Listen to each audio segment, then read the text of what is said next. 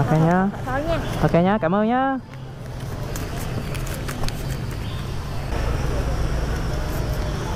Ok vậy là ấm túi.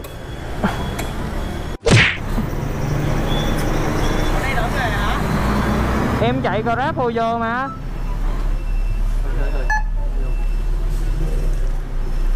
Hồi thứ sáu đúng không em? dạ đúng rồi anh ôi không em lấy theo kiểu tổ tiên mách bảo em cũng biết bao nhiêu cái bị. Ba, sáu nè. À ok anh. Đúng rồi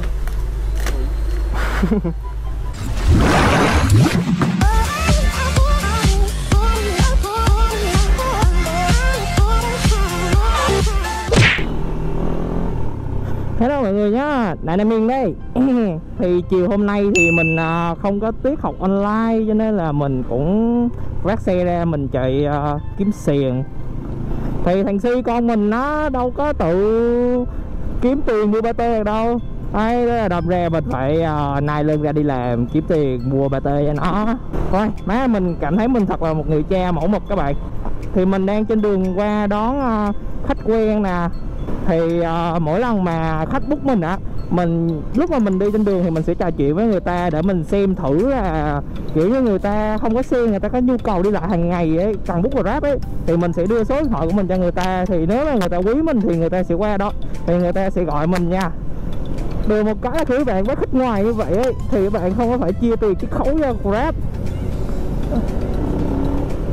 tính ra grab ăn của tài xế là gần 30 phần trăm luôn á. Thì trên giấy tờ chỉ là 20 phần trăm thôi. Nhưng mà tính đi sao đi sao lại thì phải gần tới 30 phần trăm luôn á mọi người. Thì tiền thuế thu nhập cá nhân rồi phí sử dụng dịch vụ này nọ lum la đó. Thì ở chỗ mình nó vừa mới xả lũ xong á mọi người. Nên là cái khúc chỗ này là nước nó tràn vào cái bờ đê chỗ này luôn. Thì hôm bữa đỉnh điểm là nước nó sẽ ngập hết cái, cái khúc đường chỗ này luôn nha. Xe máy qua chỗ này là không được đâu ôi, má nãy giờ là mình chạy tốc độ lắm luôn á. Má nãy giờ là mình vừa mới ngủ dậy à. Xong cái ông anh này, ông gọi mình qua chở. Thì ông cũng luôn đi làm, cho nên là mình cũng tức tốc, mình đi luôn, chưa kịp đánh răng luôn à. Á kiểu này chạy qua thôi, bồ chắc là bồ bỏ luôn quá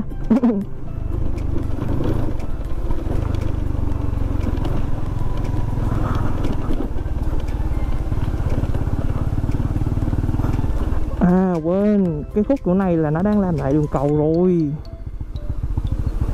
Không biết qua được không nhỉ?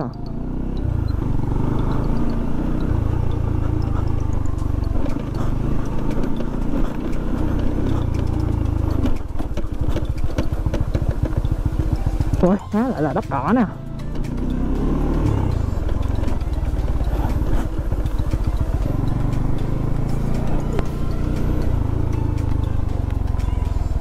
Á, nhà ông anh kia là phải đi vòng qua cái đường kia là tới rồi. Nhưng mà bây giờ cái cầu nó đang xây lại cho nên là mình phải đi đường vòng nè. Hoài chán thực sự luôn.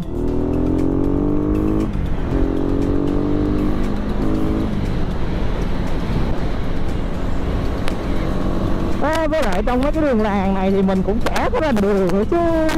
Con thực sự.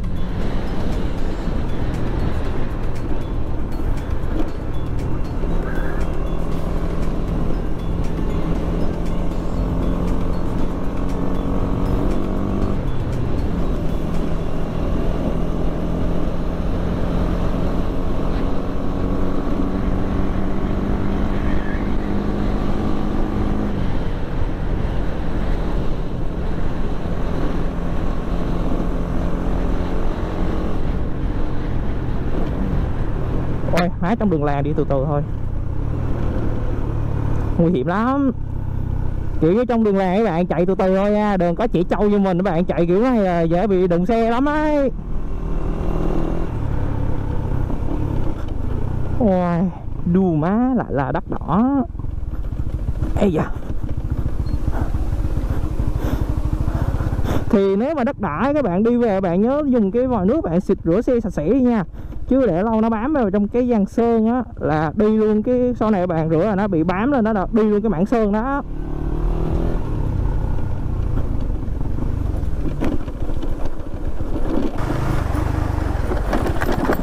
Ây da, ây da, ây da. Má, đường nó xấu thực sự luôn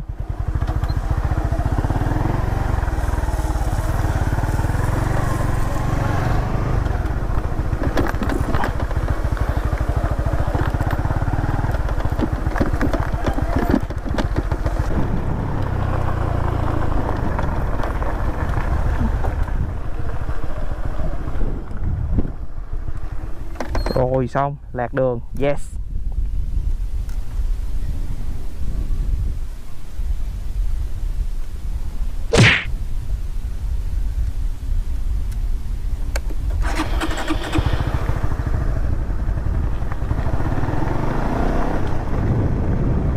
Ôi má, vào cái khúc đường làng này là chịu luôn rồi. Thường là mình biết đường để mình đi qua chỗ nhà ông anh đó Nhưng mà do cái cầu chỗ kia nó đang làm lại á Cho nên là mình phải đi đường vòng Mà đường vòng thì nó ra nhiều đường quá. Ây giờ Chuyến này ăn hành giờ mọi người.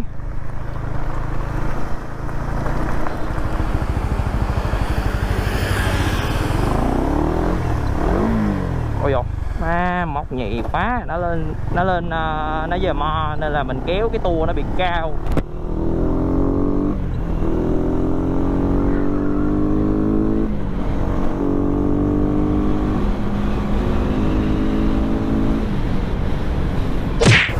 Cô ơi, cho con hỏi là cây xanh số 28 là là ở phía trên hay là chỗ này cô? cây xanh à, 28 nè Dạ, còn đi xuống nữa ba cây xanh đây đi xuống có à, đi xuống lại hả cô? à, đi xuống là cây, ba cây đây xuống cây đó là cây cây 28 À dạ, con cảm ơn nhá.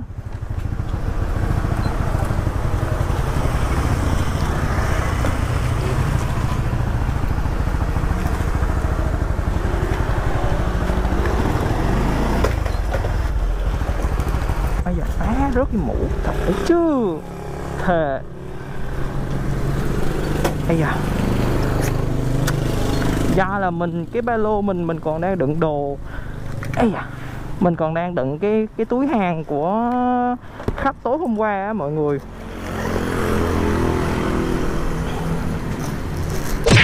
Do là nhà của ông anh nó nằm phía bên tay trái nè, nó mình làm biến qua đường á, thôi mình đi ngược chiều ha. Ví dụ mà có gặp công an thì thôi do số mình xui vậy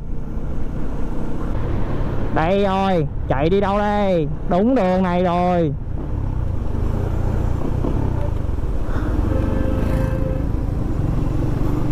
Mình cảm thấy mình thật là giỏi mọi người ạ. Không phải tự khiên mình, nhưng mà mình cảm thấy mình mò đường khá là giỏi nha. Ấy hồi nãy đi qua cái khúc cầu như này là tối rồi nè, nhưng mà do chỗ đó nó đang làm nên là mình không có qua được.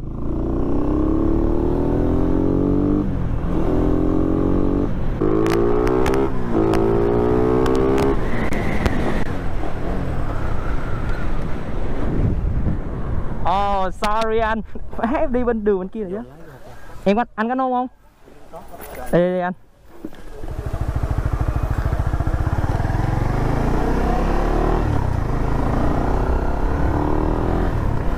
Giờ sẽ em đi là em nhớ là cua là cua một đường Kiểu các cái đường cua đầu tiên là cua bên đá. Hồi nãy em đi vòng vòng bên trong cái khu chỗ đây nè.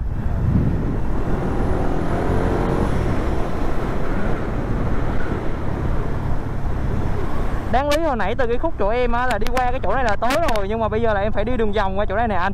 Xong cái em bị lạc lên trên cái cái khúc cây xanh mà trên cây xanh 28 á.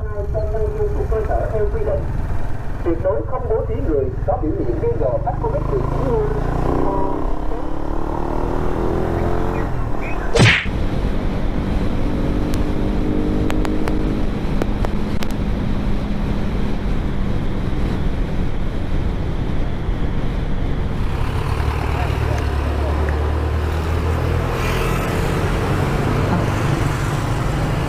dạ như cũ nha anh. Dạ em thôi cảm ơn nha. Ủa dạ hả?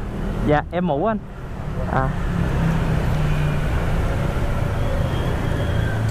Dạ em cảm ơn anh nha anh. Dạ.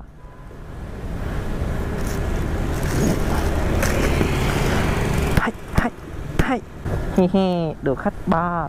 Cuốc xe này chỉ có 20 nghìn thôi mà anh cho mình tới 30 nghìn luôn. Quá đã Ok mọi người thì bây giờ mình chạy về nhà mình lấy uh, cái đơn hàng này cái.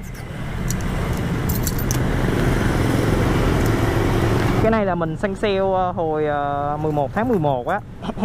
Mình săn được uh, 11 con ốc Titan GR5 mà không có tố đồng nào hết đó do nhà mình thì không có ai. Mà mình không lấy ấy, thì lát nữa ông anh á ổng cũng đem về kia là ngày mai mới giao lại được. Mà ngày mai mình cũng đi nữa mà thì làm sao mà gặp? À, thôi giờ mình chạy về mình lấy luôn. Alo em đang đứng ở em đang đứng ở đầu hiểm bảy luôn á nha anh. Anh giao xong anh chạy ra đầu đường là thấy em à. Rồi, rồi, ok. dạ ok anh cứ giao rồi chạy ra đầu đường. Two hours later. anh giao hàng shopee đúng không anh? Em uh, nguyễn văn nguyên đúng không? Không đâu hả? Dạ rồi rồi. Em cảm ơn nha anh dạ đúng rồi. À, dạ. Này đây nha mọi người. Đây là ốc titan Euro 5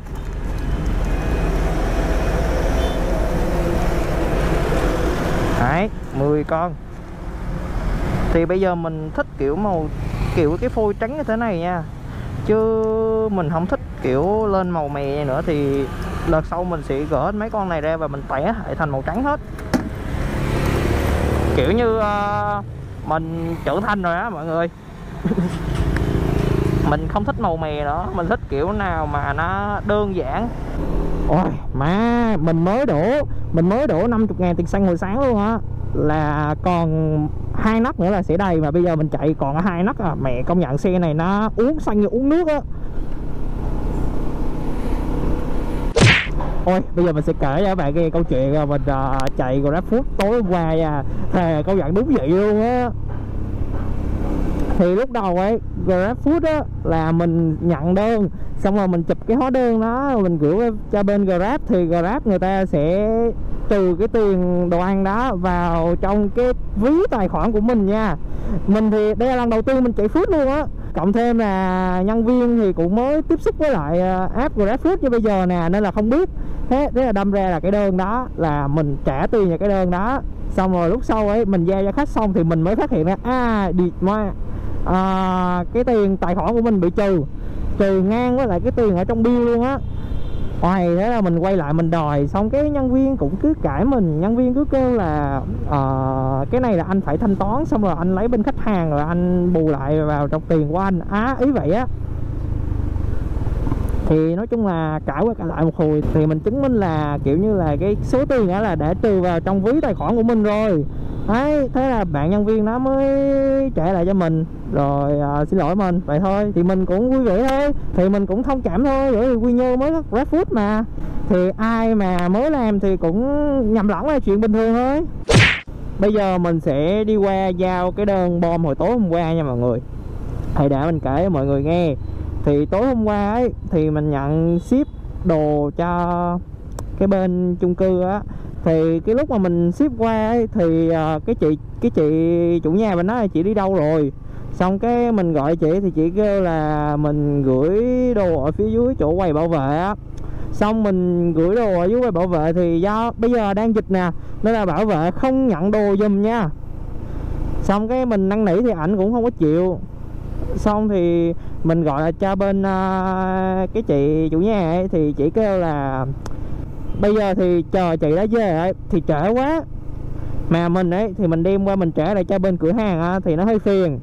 Chị khách kêu mình là thôi cầm về đi rồi ngày mai rảnh lúc nào thì giao lúc đó. Thì bên cửa hàng là để trả tiền ship cho mình rồi nha. Nhưng mà bây giờ mình qua mình giao lại thì mình sẽ lấy à, thêm 10.000 tiền ship nữa. Bởi vì mình đi uh, hai vòng luôn tiền ship hôm qua hình như là 35 nghìn hay sao ấy. Bây giờ là mình lấy thêm 10 nghìn nữa.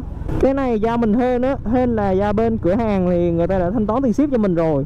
Chứ gặp mà có mấy đơn mà bên người nhận trả tiền ship cho mình á, mà người ta bom ấy, ôi thế là đi luôn cả ngày công.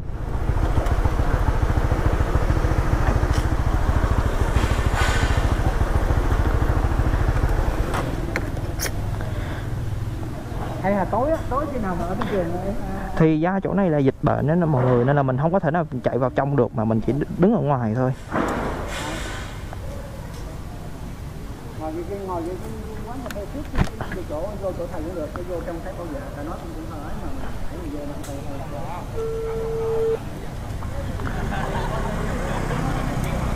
tối tối tối dạ em đang đứng ở chỗ ờ, bảo vệ chị Two hours later. chị lấy đồ đúng không ạ? Dạ đúng rồi đúng rồi.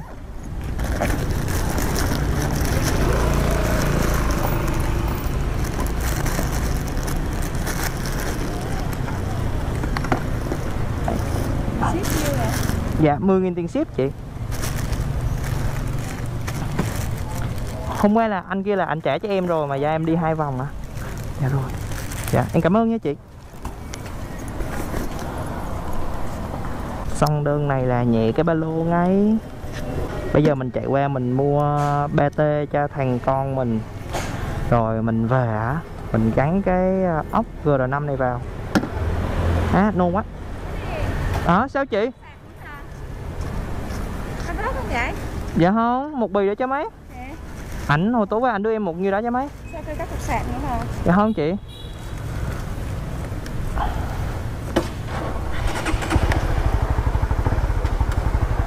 ấy, mọi người thấy chưa? Mình giữ hàng qua đêm ấy. Xong bây giờ bà chị đó bà hỏi là còn có cục sạc nữa mà mà sao trong này không thấy? Ấy ấy, thấy vậy chết chưa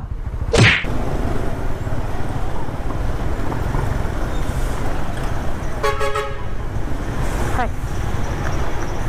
alo em chạy grab hồi giờ mà. Hồi nãy là mẹ si chuyển khoản tiền à, cát hôm bữa cho chị kiều rồi nha anh. Ủa sao tiền tiền anh cũng là tiền em mà không biết nè? Không tiền anh là của bà chứ còn tiền của ờ, bà chứ chắc là của anh. Rồi. ok. Em qua em lấy ba tê á. Ừ, coi lấy đi. Ok anh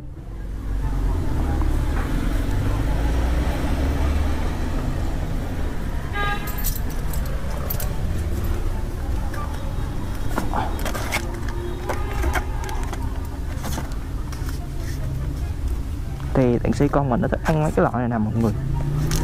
Kiểu như ngon bổ rẻ phù hợp với lại túi tiền của ba mẹ. Hai, bốn, sáu, tám, mười mười hai. Con đâu còn chạy nữa chứ. Em chạy từ này tới tối luôn á thì ngày chạy được bao nhiêu một ngày á anh? Chạy vì đam mê thôi mà cũng được bao nhiêu đâu. Dạ. Xưa chạy nó phí có 15 trăm ủa hả? Thôi là anh chạy ở quy nhơn luôn hay là anh chạy ở sài gòn? Chờ sài gòn thì nhiều tiền hơn ở đây rồi. Ở đây mà chạy uh, ráng lắm ấy thì một ngày chắc được 200 à. Anh là xưa chạy từ của Việt qua đó dạ. Của Việt là nó mấy quý đâu anh chạy hồi đó một ngày mấy triệu á? Một ngày mấy triệu? À, một ngày có khi triệu mấy. Có một tháng nói chung chạy trung bình thì khoảng ờ, 45 triệu. À tính ra chạy grab ở trong sài gòn lương cao ngang giám đốc luôn á. Chạy của Việt cũng cao lắm. Dạ. Shop em hướng dẫn cho ai mua gì nó rẻ tiết kiệm cho họ chứ không phải ai giới ai cũng giới thiệu với Unit Unit dành cho mấy con nào ướt rừng ruột như là mấy con mà chó phốc sóc nè poodle nè, nó cực kỳ kén ăn. Cái hạt đó hạt mềm. Hạt đó hạt mềm, mà giá nó cực kỳ mắc. Còn như mình, chó ta mình dễ ăn. Với lại cái, nó cần độ đảm, chất lượng cao. Nó không phải kén ăn, không để yếu đường ruột, nên ăn những cái dòng này được rồi. Không nhất thiết phải ăn những cái dòng kia.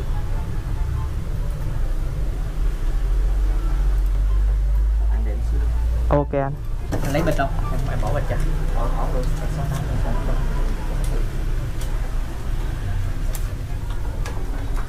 Đây dạ rồi em cảm ơn nha. Anh cứ để về cho nó ăn thử không, không được qua đem đổi cho. Cái bên mà. Tính ra hàng xóm cũng lợi à anh không được phải đổ liền luôn.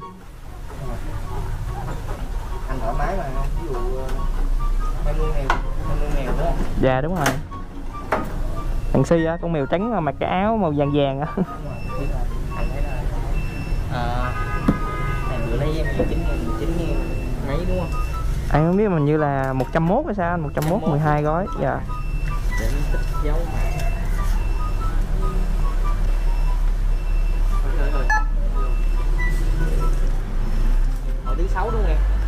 dạ đúng rồi anh ôi không em lấy theo kiểu tổ tiên mách bảo em cũng biết bao nhiêu cái hơi vì ba sáu nè.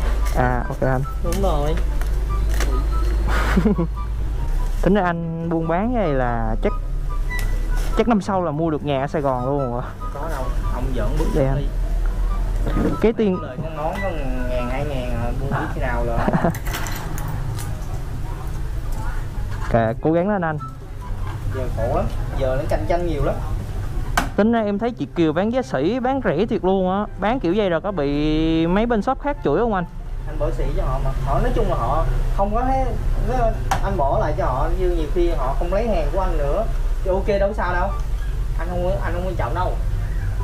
Do là Ừ. họ bán mắc quá nhiều người họ muốn nuôi mèo mà họ họ không có có, có tiền cho ăn thì anh cũng thấy cũng tiếc cho họ tội cho họ chứ. Ví dụ nhiều người họ bán mắc quá. Dạ. Mấy shop khác em coi qua cho bạn. Ví dụ các vệ sinh đây nè như hàng à, Huy Trịnh á. Đúng rồi nó bán 300 ngàn tải. Thì là ba à, nó bán 60 ngàn túi. Túi 5 đến túi còn nửa này thôi nha. Vâng còn ờ, kia là nó nó một, một túi bự này nó bán khoảng 115 ngàn. Dạ. Mà trong đó anh bán có trăm trăm ngàn đúng rồi. Nhiều khi mua qua túi anh bán có 95 ngàn túi nhiêu ồ Trời tính ra nếu mà anh bán rẻ vậy em nghĩ là chắc cũng có nhiều shop khác nó vô nó dài giá rồi. Nhiều khi nó chửi luôn á chứ. Chửi anh như anh tụi anh do tụi anh nhập sĩ tụi nó đâu có nhập sĩ đấy là đâu tụi anh Ờ. tồn một tỷ mấy hai tỷ tiền hàng. Tụi nó đâu, đâu có nào. Hàng của nó sao bằng một góc như của anh. À. Em thấy một một loại cái ba one bi cái hàng xuất tưởng đó. Dạ. Hồi xưa anh về gấp đôi cái này mà anh bán còn nữa cho anh về chưa đường tháng á, ờ mấy sĩ bỏ cho thành phố Hồ Chí Minh bỏ cho Đà Nẵng bỏ cho Hà Nội tùm lum bỏ cho đủ nơi chứ thôi chu tính ra anh cũng có máu kinh doanh dữ á chứ. Hồi xưa anh liều hồi xưa mà anh không có tiền á anh còn đi ờ, đi ra chỗ gì ta? Chợ đầu mối anh hỏi bưởi giá bưởi xong cái anh đi ra anh đi xuống ờ, bình thuận bình bình phước rồi đi xuống mấy miền tây để coi mấy cái giá bưởi của họ Dạ. nhập như nào giá nhập từ nguồn như thế nào bao nhiêu rồi bắt đầu nhập được mình đi lựa từng trái một cái đưa lựa những cái nguồn nào mà họ uy tín chất lượng mình lên tới tận cái chợ đầu mối mình chào Ờ. bán một ngày trước được năm sáu trăm cho dữ á chứ alo alo đâu ấy? ờ anh đang bên ờ, chỗ chị Kiều nè Ủa chị ăn qua chị Kiều á? ờ Nhanh vậy? qua nãy giờ mà đứng đứng tám từ nãy giờ em chuyển cho cho chị nó tốn phí Mở qua có trăm ngàn mà cứ liền liền nữa Các bạn đã đóng trên nồi sao không? Hả? Nói chuyện bả Ủa đâu? Chắc chuyển rồi anh không biết đâu, anh không biết chứ không phải ờ, cái gì hết á. alo Chị Kiều ấy Dạ Tại anh không biết chứ không chứ không phải do bả đâu. Đó, đó số tài khoản đi em chuyển cho À.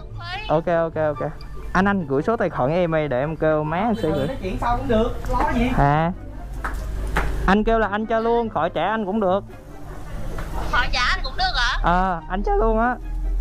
Anh trả luôn hả? Anh- Anh không cảm ơn nha. Thôi làm thêm bịch nữa em chuyển trăm ngàn mua thêm bịch nữa. Cái bịch kia cho anh. À, anh cho luôn đúng không? Vậy để chuyển em lấy thêm bi nữa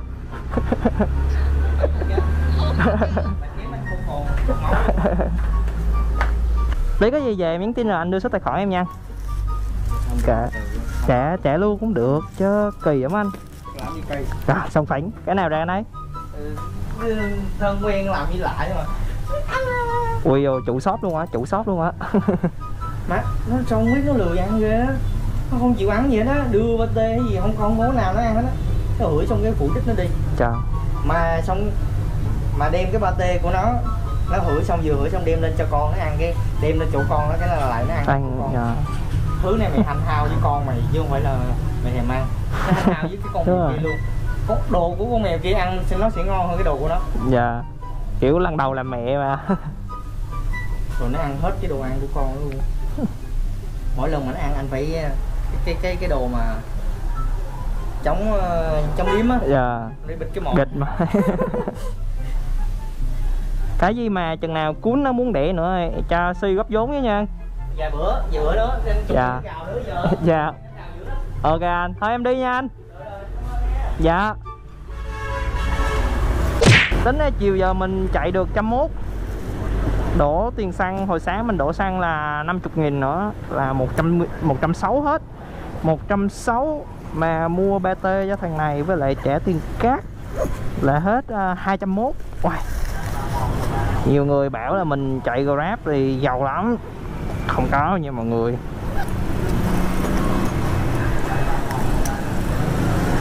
Ok đi về thôi. Thì về cái ngóc GR5 thôi. Ok mọi người nha Thì clip của mình tới đây thôi. Nếu như mọi người thích cái video này Thì hãy cho mình một like và một subscribe Để mình có động lực ra tiếp video tiếp theo ha. Ok Bye bye mọi người. Hẹn gặp lại mọi người ở video tiếp theo. Bye bye. Bye bye bye bye bye, bye.